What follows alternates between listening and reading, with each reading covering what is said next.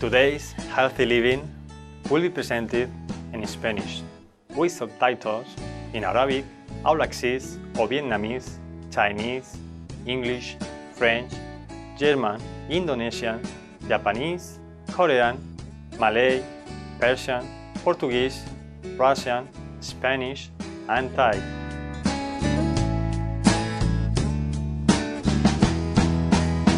Hola gentiles televidentes y bienvenidos a otra edición de Vida Sana.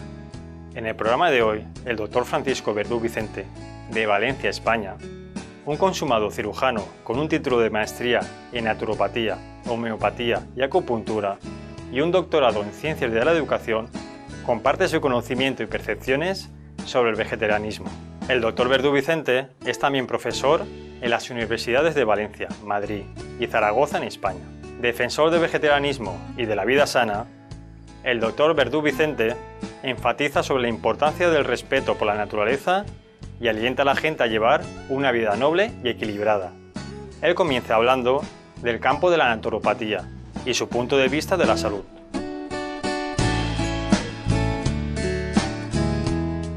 La figura del médico naturista en España es muy antigua. Eh, viene ya de, hace muchísimos años y el médico naturista la anatomía, la fisiología, la patología, como sabe cualquier médico, pero eh, lo que diferencia a un médico naturista de a lo mejor un médico más convencional, pues sería el criterio. Es decir, qué criterio tiene un médico naturista a la hora de ver a un paciente. Es decir, que el criterio de un médico naturista va a ser el tener una visión holística, global del paciente, si el paciente se queja del estómago, no ver solo el estómago, sino ver sus problemas psicológicos, su constitución, y ahí entra también la homeopatía para ver qué tipo de constitución, qué características psicológicas tiene un paciente. También es muy importante, el médico naturista dedica mucho tiempo al paciente, y por lo tanto, pues todo eso hace que, un médico naturista pues, eh, se interese muchísimo por el paciente y tenga una visión más global. El doctor Verdú Vicente dice que desde un punto de vista nutricional, las dietas vegetarianas y veganas, sin animales, son completas y sanas. Y es curioso porque los niños, por ejemplo, cuando se les da jamón york, no saben ni de dónde viene el jamón york, no saben que viene del cerdo o que viene de un animal, ¿no? Cuando se comen la mortadela, ellos se creen que están tomando pues algo que es independiente de todo lo que supone el que se coma ese trozo de mortadela. Cuando empiezan a ser conscientes, pues ya lo ven un poco anormal, ¿no? Pero bueno, la sociedad tiene muchos, desgraciadamente tiene muchas artimañas para convencer a la gente y para verlo como algo normal, algo que no lo es. Cuando se lleva una dieta vegetariana no tienen por qué haber ningún tipo de carencias. ¿eh? Ni siquiera la vitamina B12, que muchas veces se ha, se ha, dicho que en una dieta vegetariana, incluso vegana, que podían haber carencias. Se han hecho estudios en, en Inglaterra con niños vegetarianos que no toman productos de origen animal de ningún tipo y no tienen carencias, ni siquiera de vitamina B12.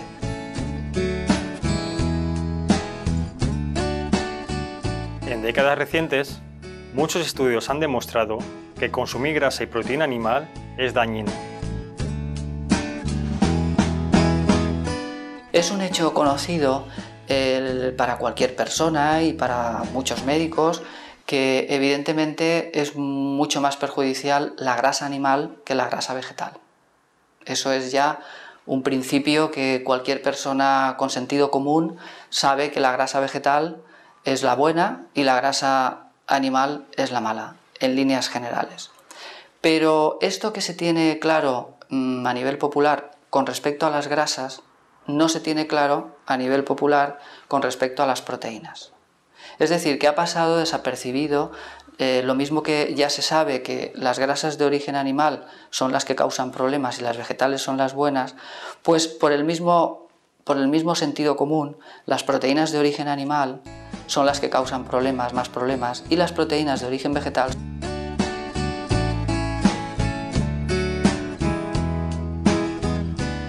La investigación científica ha revelado que consumir proteína animal puede tener un efecto adverso en el sistema inmune del cuerpo. Heteróloga significa que son proteínas de otra especie.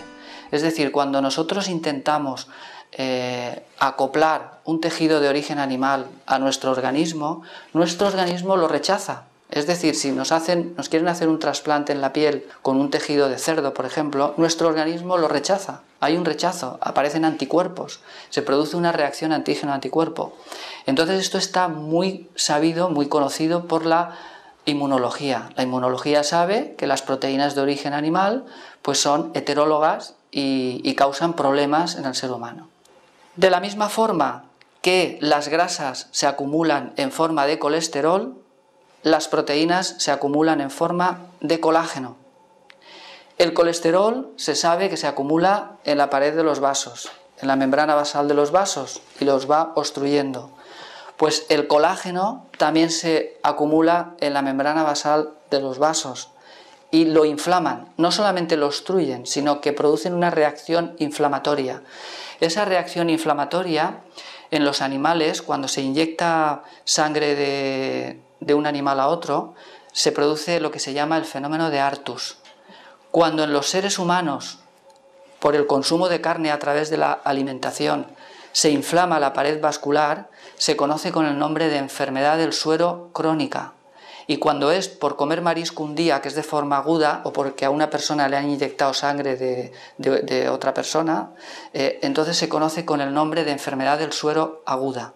Pero el fenómeno de Artus, la enfermedad del suero aguda o la enfermedad del suero crónica, lo que nos está diciendo es que el sistema inmunitario se defiende de, de esa entrada de proteínas heterólogas en nuestro organismo.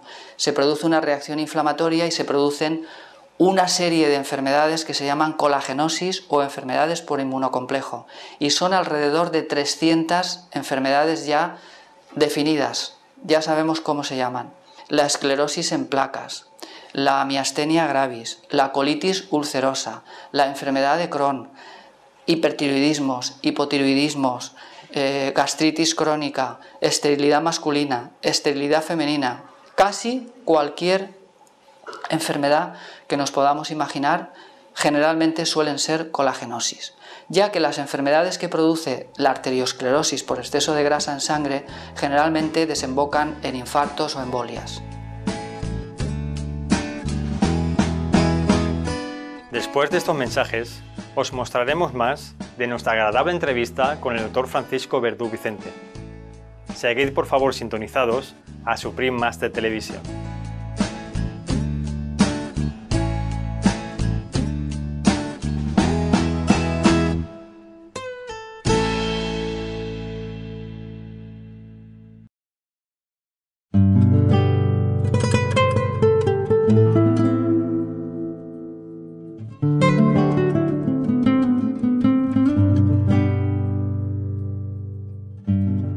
Bienvenidos de nuevo a Vida Sana, aquí, en Supreme Master Televisión.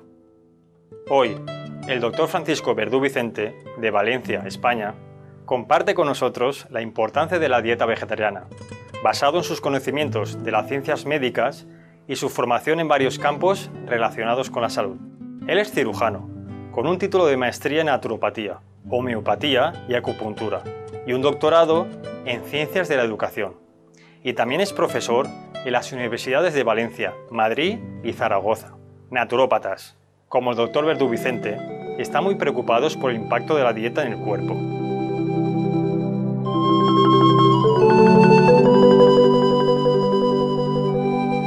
Dietético, es decir, la alimentación para un médico naturista es lo fundamental además de la fitoterapia, la hidroterapia y todas las técnicas que entran, entran, dentro de la medicina complementaria o alternativa pero la, dieta es fundamental. Y es fundamental porque para un médico naturista es fundamental el respeto a la naturaleza. Y dentro del respeto a la naturaleza, el respeto a los animales. Entonces, claro, eh, un médico naturista pues, se puede preguntar si es necesario matar animales para sobrevivir. Como no es necesario, porque la carne y lo que se produce al, matar a un animal no tiene ninguna sustancia que sea absolutamente necesaria para el organismo, no tiene algo que no tengan los, vegetales. ¿no? Entonces, claro, pues eh, hace innecesario recurrir a un producto que supone pues, matar animales.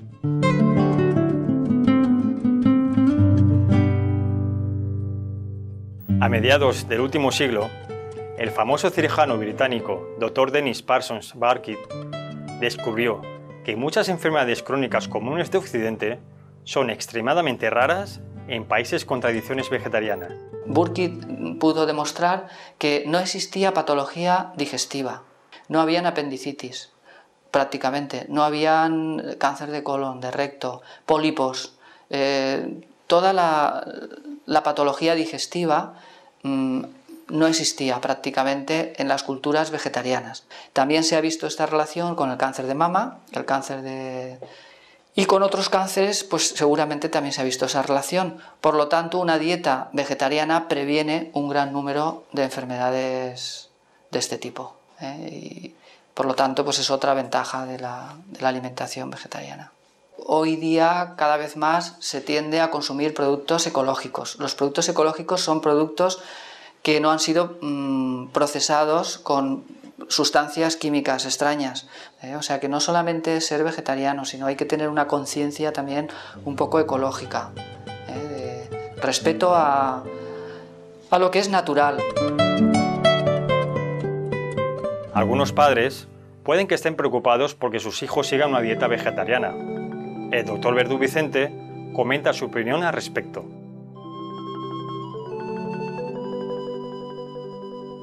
Es eh, de, forma similar a como para un adulto es recomendable una dieta vegetariana, para un niño exactamente igual. Lo único es que los niños eh, están en crecimiento, es decir, van a necesitar un aporte de proteínas correcto para su edad y para su altura y para su periodo de crecimiento y por lo tanto las proteínas, aunque sean de una dieta vegetariana, pero tienen que estar en las proporciones adecuadas para su crecimiento. No es lo mismo un anciano que tome un 15% de, de proteínas eh, al día que un niño que está creciendo que a lo mejor necesita un 30%.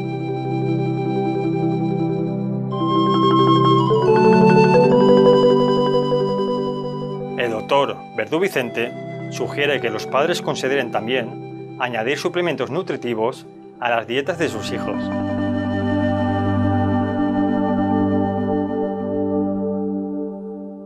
Hay libros de, nutrición vegetariana para niños donde establecen los plazos cuando se puede empezar a utilizar después de la lactancia, cuando ya empiezan a tomar alimentos sólidos, cuando pueden empezar a tomar la levadura de cerveza, cuando pueden empezar a tomar el germen de trigo, cuando pueden empezar a tomar la lecitina de soja.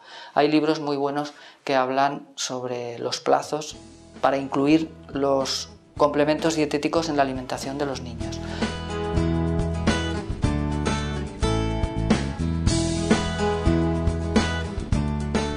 Hoy, numerosos alimentos suplementarios con un alto valor nutritivo están fácilmente disponibles en el mercado.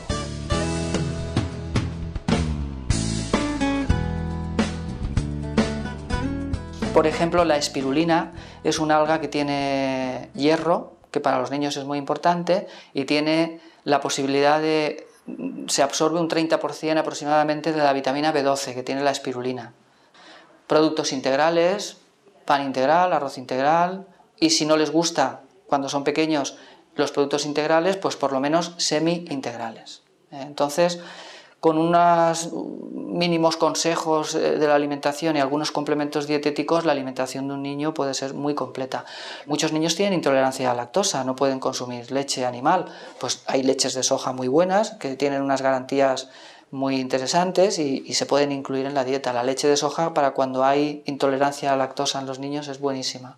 Y hay otras leches vegetales y hay alimentos infantiles buenísimos hechos a base de purés de legumbres, de, de cereales y hay muchos productos que se pueden incluir. Pero yo insistiría más en la introducción de complementos dietéticos en los niños en crecimiento en los plazos adecuados. El doctor Verdú Vicente tiene este consejo para nuestros televidentes. Bueno, pues simplemente recomendarles la dieta vegetariana, que va a contribuir muchísimo a tener una actitud más ecológica y contribuir de este modo pues a un mejor desarrollo de todo el planeta.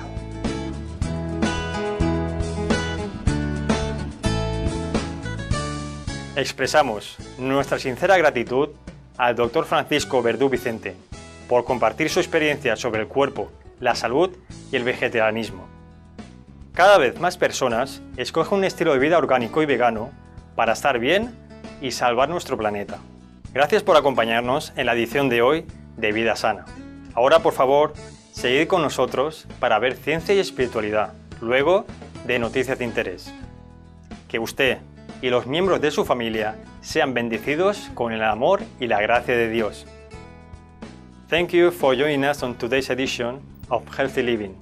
Now, please stay with us for science and spirituality after noteworthy news.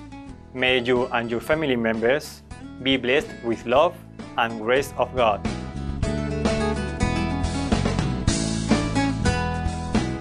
For more details, please see www.suprememastertv.com forward slash HL.